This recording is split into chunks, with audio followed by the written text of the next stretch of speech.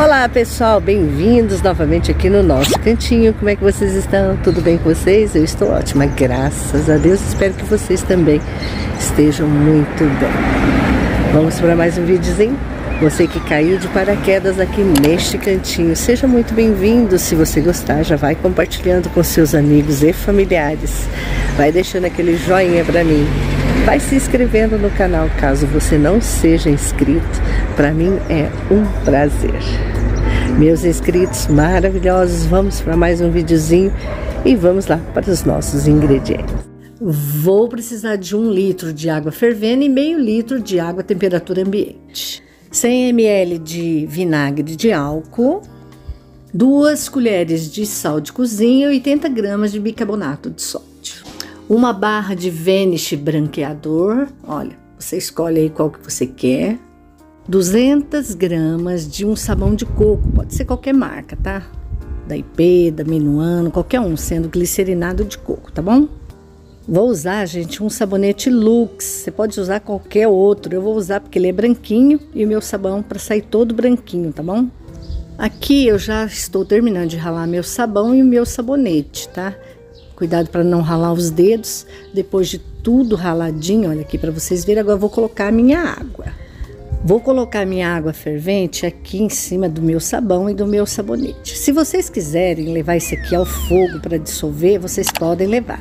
Eu vou colocar no liquidificador para dissolver mais rápido, tá bom, gente? Aqui na minha cidade, pessoal, o gás está muito caro. Então eu levo no liquidificador, a massa fica mais homogênea e gasto menos gás, né? Então, vamos economizar.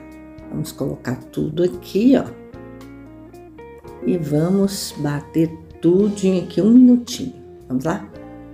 Terminado de bater, pegue uma bacia grande, né, para não derramar tanto, porque eu faço uma sujeira danada quando eu faço sabão, para a gente juntar os outros ingredientes, tá? Pronto, agora eu vou acrescentar meu vinagre, tá? Vamos acrescentar e mexer muito bem. Não se esqueça de mexer bem sua receita. E vamos acrescentar o nosso sal todinho aqui. Vamos continuar mexendo. Vamos misturar também aqui o nosso bicarbonato de sódio, que não poderia faltar. Vamos misturar tudo aqui. Vou acrescentar meus 500 ml de água fria que eu bati no liquidificador para limpar o liquidificador. Agora eu vou misturar ela aqui, gente, já vai estar prontinho o nosso sabãozinho. Esse sabãozinho tipo Vanish, quando ele endurece, você pode estar tá ralando ele, ele fica bem fininho e ele fica durinho, tá, gente? Você pode depois colocar ele envolvido num plástico filme e guardar e usando aos poucos. Ele é um branqueador, clareador maravilhoso. Essas barrinhas de sabão eu nunca fico sem elas aqui em casa, que ela é um ótimo clareador de roupa branca. Agora eu vou colocar aqui nessa forma para deixar ela para endurecer, tá, gente? Eu faço muita bagunça quando eu faço sabão, principalmente dentro de casa. Olha só, quando eu não uso soda, eu faço aqui dentro de casa mesmo, eu não faço lá fora. Vou deixar endurecer esse sabão. Ó, dá uma batidinha nele aqui, ó. E vou deixar, olha a minha mão.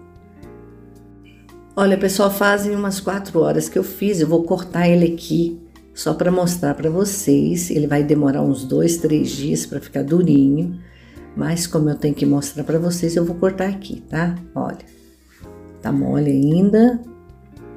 Vou virar aqui, olha só as barrinhas pequenininhas, tá vendo? Tá? Ela fica parecendo um, um isoporzinho. Depois você rala ela e faz um sabão tipo Vênus, fininho, fininho, para você estar usando aí nas suas roupas branquinhas, tá? Olha só que lindinho que ficaram as nossas barrinhas. Olha, gente, fácil, uma verdadeira economia. Vamos fazer o teste da espuma aqui nessa meia, gente. Dá uma molhada, olha com essa meia tá bem suja, só passar e tá meio mole ainda. Como eu falei para vocês, ele vai endurecer entre dois, três dias, tá? Então, é uma verdadeira economia. Se você estiver gostando dessa receita, já vai se inscrevendo no canal para ajudar o canal a crescer. Compartilhe com seus amigos e familiares as nossas receitinhas e deixa aquele joinha maravilhoso para mim que eu vou adorar. Um beijo a cada um de vocês. Fiquem com Deus. Fácil de fazer as barrinhas e muito econômica. tá? É uma dica para vocês maravilhosa, tá, gente? Façam. E aí, pessoal, gostaram da nossa receitinha?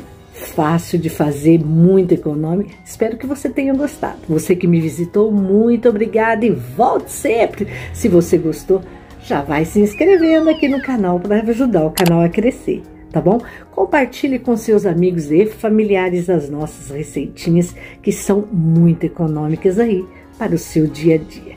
Meus inscritos, que Deus te guarde, te proteja e te ilumine de todo mal aqui neste final de semana.